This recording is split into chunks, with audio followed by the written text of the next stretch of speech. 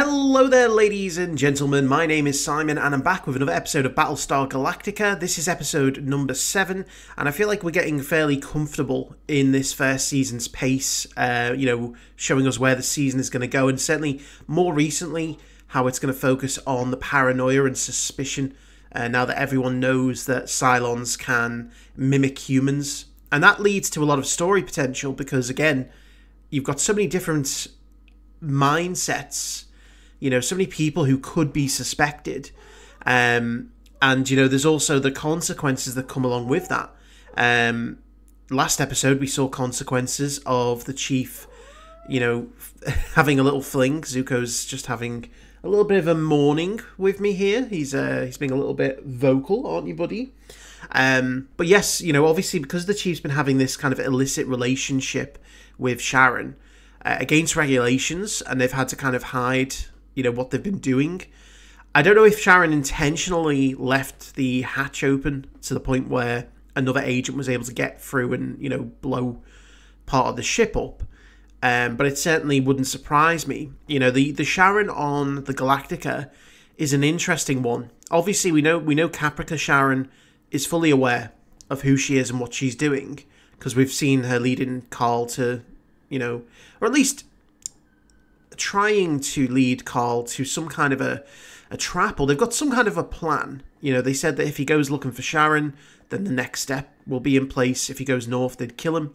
But the one on the Galactica doesn't seem to genu- like genuinely doesn't seem to know that she's an agent, and um, I'm wondering if that's going to come back to, you know, bite the Cylons in the arse. You know, because it could well be that even if they're activated, even if they are made aware of their Cylon nature, the experiences they've had as a human might influence their next actions. And if that's the case, then you know there's a lot of potential here that the Cylon agents could turn against their uh, their masters, as you might call them. Um, but yeah, it's it's a lot of potential, and you know, again, I think the next few episodes will continue to focus on that suspicion, the revelation that's just come out, um, whether we'll see any more kind of uh, intrapersonal conflicts between you know the the master at arms, the commander, the chief, you know everyone involved. Because that was it was like an inquisition in the last episode, and uh, you tend to find that people get a little bit power drunk in those scenarios, and likable people become arrogant, egotistical, and uh, very direct, which isn't always comfortable. So yeah, we're going to jump in. So let's watch the next episode of Battlestar Galactica. I'm sure I can find evidence of his divine hand in some of these delightful. Uh, as I say, not had of divine digits After before. all, There are so fracking many. But he is- even I can be relied upon to find God in one of them. Taunting her a Is little. it that drives you to blasphemy, Gaius? Yeah, your God, my God, everyone's God. He's big enough for all of us, isn't he? Now, please, Now, please, let's get back to the sex. can't we do something a little more God demands that we procreate. elevating? It's important you form a personal relationship with God. Only you can give yourself over to his eternal love. Oh, for God's sake! He doesn't want eternal love, he just wants 20 minutes. Your immortal soul. No, what you are doing, darling, is boring me to death with your superstitious drivel. Which leads me to the It's inescapable conclusion that Cylons are in the final.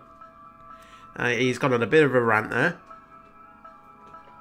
That Cylons are in the final analysis little more than toasters. With great looking legs. He's getting bold. My fantasy. See if I care. Can she turn his fantasy into a nightmare? You maybe. Is the question. Blouse could open up, but not. Excuse me? Just a thought. You wanted to see me, Commander. Miss Godfrey has brought some very disturbing accusations to my attention. I think you should have the chance to answer them in person. Hold up. Right, thank you. And um, Hold up. Is she. She's actually there. Standing right there. Oh my god. Hello. I'm right here. New dynamic. Um, doctor, this is Miss Godfrey.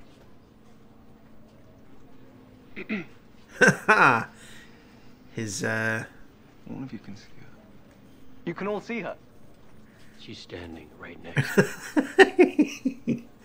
Oh, what a power play. She has been there the whole time, No. waiting for this moment.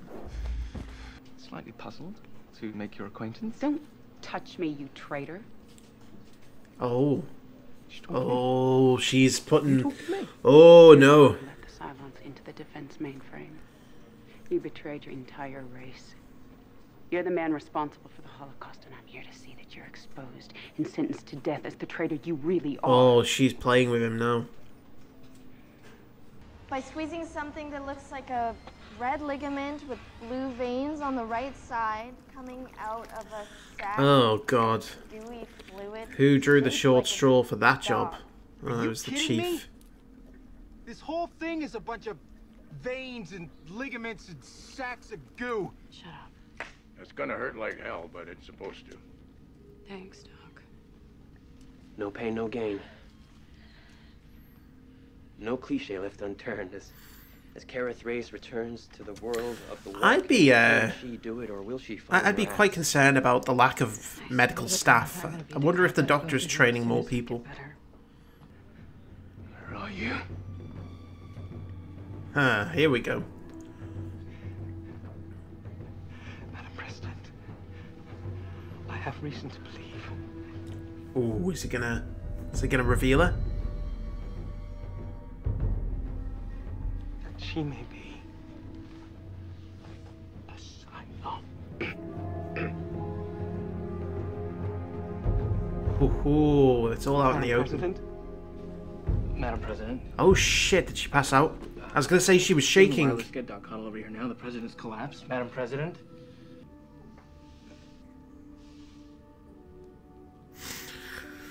Oh, There are times when I just. there is a very convincing game going on here. Times when I just That's- want so much to be held again. It will not work on the commander. You understand that, don't you? Attempting to romance every person you come into contact with is not gonna work. There must be times when. Back away. No reaction. Do not, under any circumstance, allow Shelly, Godfrey, to leave this ship. Yeah, he's gonna suspect under it.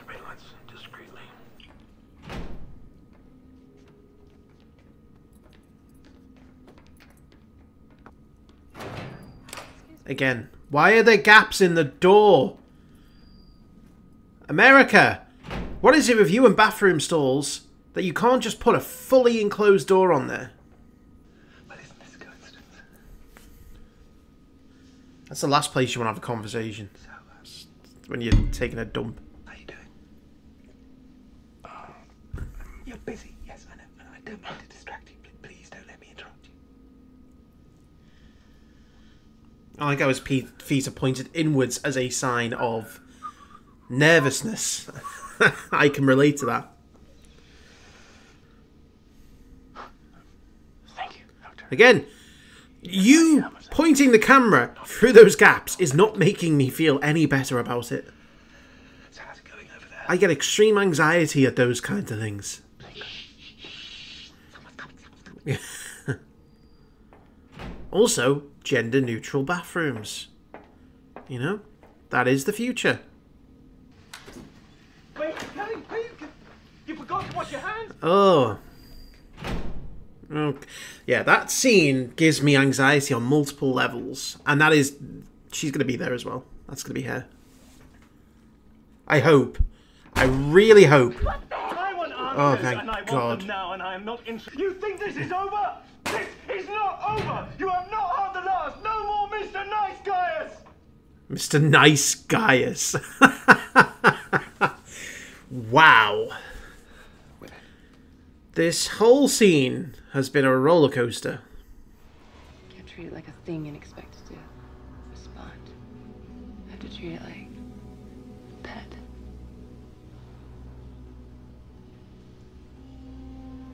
Good. At least that's my guess. She's being strange. Yeah, that's right, my guess. Yeah, the chief wanted me to kick your ass out of bed so you could help figure out that raider of yours, but clearly you still need the rest. So take your time. No rush.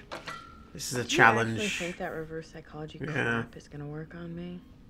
I really don't care what you think, Lieutenant. All I know is that every day you spend in that bed is another day that I have my opinion of you confirmed. As you were. As you were. I'm willing to do anything. Anything at all. Only I need your help. I did not conspire with the Cylons. I'm an innocent man who is It's kind of true. court of public opinion. He didn't uh, actively conspire with them. He unknowingly conspired with them. No fires reported anywhere on the ship, Commander. Exact location of the alarm. D-wing corridor where it intersects C-wing. That's a lab. Yeah, that's just gonna make it look suspicious. Like someone walks in on him now.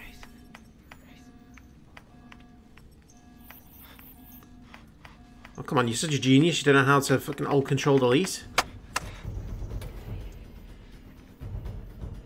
I'm pretty sure you just pulled out the monitor. you just made it more apparent. I mean, oh, s- seriously? Yeah, he's just you're just making yourself look guilty. Oh, take her for a ride. Ride it. Treat it like a horse. Okay. Uh, A horse, a horse, a horse. Why not? just don't goat? accidentally touch the guns. Think of it as a goat. Okay. Come on, boy. Giddy up. Come on. Come on. Uh, hey, I'm, I'm not trying to put you on the spot here. I don't want to step in into what you two have. You feel the way you feel, and I, you know, I have to respect that. Well, there you go. Neither of you are going to be sleeping, so there's that.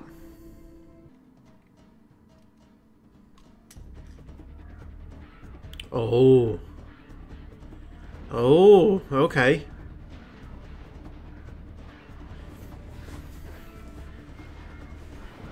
Who wrote that?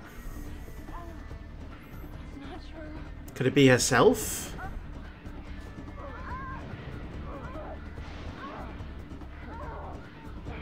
Oh, oh, that red thing's back. Someone said to me that they didn't do that again. Like the, the red spine thing.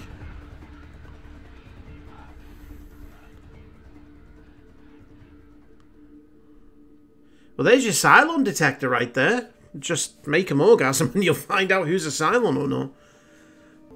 Uh, and I now acknowledge that you are the one true God. Somehow it doesn't feel right though, because this is all under duress. Evil. Like if you have to force someone to believe because of the blackmail, The rest of what is left of my is that really genuine?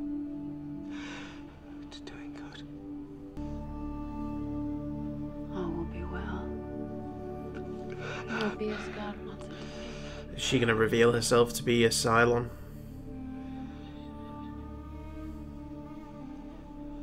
Set the record straight. They weren't apparent until the photo was fully resolved.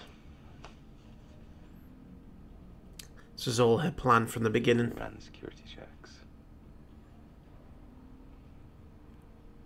She knew it would get to that point where once they had the image, that's when it would be revealed. So that was always her safe, like, like her It failsafe. never have anything to do with that attack. I mean, This woman existed. She didn't just vanish. Have him check again. Every ship? Every ship, including this one. Yep, there's her glasses. That's a sign. I get the feeling we'll see her again. Clearly, the Cylons wanted to discredit Dr. Baltar because of his. Boy, does she feel silly right now. Dr. Baltar, it gives me great pleasure to exonerate you publicly and to recognize you once again among us as a scientist, a leader, and a friend. Ha! Yeah. Like you two are gonna be friends again. Ugh. Oh god, that guy smiling really give me the creeps. You're a hero. You're the more popular Ugh. hero than ever before. Well, that was certainly an episode. Um, there were some scenes in there that I found intriguing, disturbing, entertaining, anxiety inducing. It was it had everything. And you know, it was a complete kind of Baltar experience. You know, it was it was very well planned is the first thing I'd say. You know, the idea that they've had this in the back pocket, you know, specifically um the blonde woman has had that in their back pocket, just whether it was intentional, whether it was there, just in case he doesn't seem to come around to the idea of her faith. Um, is an interesting concept. You know, would she have done that even if he hadn't become so belligerent? Because, like, you think he would have learned from um, when he repented. Like, don't piss her off. Don't insult her, you know, beliefs. She is, for a Cylon, quite reasonable you know, she clearly has an agenda, but she doesn't seem to want any harm to come to Gaius. And, you know, the only time that she's shown true anger is when he has dissed on her beliefs. And it's like, in this episode, he just went full fucking force. He, like, essentially called her an idiot for believing in a god. And, um, you know, whilst everyone can have their opinions on religion and faith and belief, you know, you don't want to insult anyone for choosing to believe in something. Um, and he decided to do that in the most direct and arrogant way, and especially for someone who he should have realized had the power to uh, bring him down. And so that's about all of the events, and, and just in that scene in the CIC where she was actually there, I was like, that's brilliant. She's she's had a copy all this time somewhere in that fleet, and she's been waiting for a moment. And I'm assuming that we're going to see um, Shar- Shelly Godfrey. Um, again, you know those those glasses being left with the commander seem to be a little hint. Um, and you know, I wonder now if the commander's also going to get some more interaction with her. He didn't seem to be too moved or too phased by her uh, offerings. You know, when she came onto him in his uh, in his office and I'm not surprised. He's not the kind of person that would easily kind of submit to the ruinations of a good looking woman, you know, without having a kind of sensible head on first. And, um, you know, it just made me wonder what would happen if he just didn't. I don't want to say convert, but, you know, if he didn't kind of become more open to faith, if he didn't have that kind of plea in those last moments, like what would have happened? Would she have still done what she did? Because again, I, I kind of like. I guess it is a very kind of inhuman um, expectation that you know forcing someone to believe by putting them through an experience like that, and it, what is essentially blackmail in a way, uh, would be the same as someone just coming to believe something naturally. You know, it, it's it's not the same thing. There's there's always going to be an issue because it didn't originate from a genuine place. It originated from a place of desperation. And, uh, you know, yes, he may keep up, he may toe the line out of fear of further repercussions.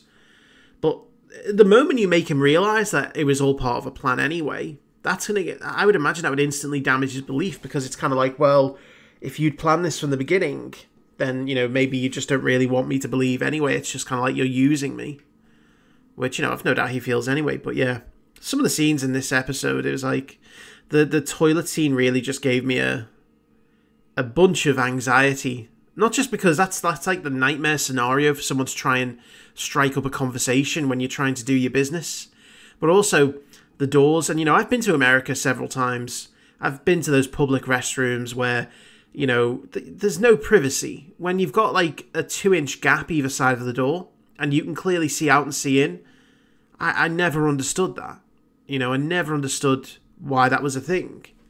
And uh, it just gives me so much anxiety there. And um, there was moments as well when, you know, he he was confronting her in the bathroom and I was like, man, what if actually whilst she she might be a Cylon, what if she's kind of in this position of like not knowing she's a Cylon? You know, and she genuinely believes that she's got the evidence and all that, and you know that just complicates things further. And then there was suspicions that it was all in his head. It was like, well, if she can invade his fantasies? Can she turn those fantasies into a nightmare and put him into a, a dreamlike world? But yeah. Um, so that's everything that was going on with with um, Dr. Baltar, which I really found entertaining, and you know I look forward to seeing where that goes. But again, it's kind of like all of these coincidences seem to be giving him credit, you know, from the guy who he just made an educated guess at being a Cylon shows back up to confirm their beliefs that he was a Cylon, saying that, well, yeah, this this Cylon detector must be real. You know, you've also now doubled down on his um, his reputation because he's been accused and been acquitted of potential treason.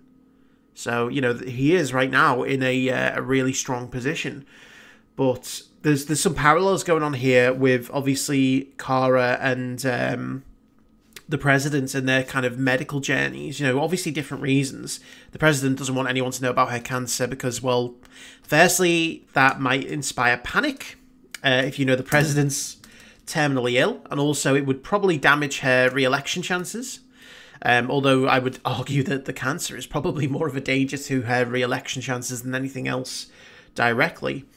Um, and you know, obviously, both of them are averse to doing the right thing in terms of their medical treatment. And so one's through, I think, pride, um, and the other is, you know, through kind of um, fear. Um, but the end result is the same. They ignore the doctor's advice. They they do things contrary to what might be sensible. Speaking of the doctor as well, I do hope that he's training some more people in the medical field because uh, the way that he's smoking and you know his uh, advanced age, I don't think he's going to be around for the full journey. Um, and uh, from what I remember, he is the only doctor that they have. So yeah, they might want to consider a replacement and begin that training now. But um, no, it was a fun fun episode. Um, again, Apollo's kind of taken a bit of a backstep in the last couple of episodes. He wasn't in the last episode at all. In this episode, he was only in a couple of scenes. Um, you know, which I get it. You know, you can't have the full focus on every character in every episode. But uh, it just seemed like a sudden shift because he was quite prominent, and then he's taken a big back step and I'm guessing he'll come back into it at some point. But uh, no, very good episode, very entertaining. So yes, I hope you enjoyed it. Um, anyway, thank you all for watching, and I will see you for the next one.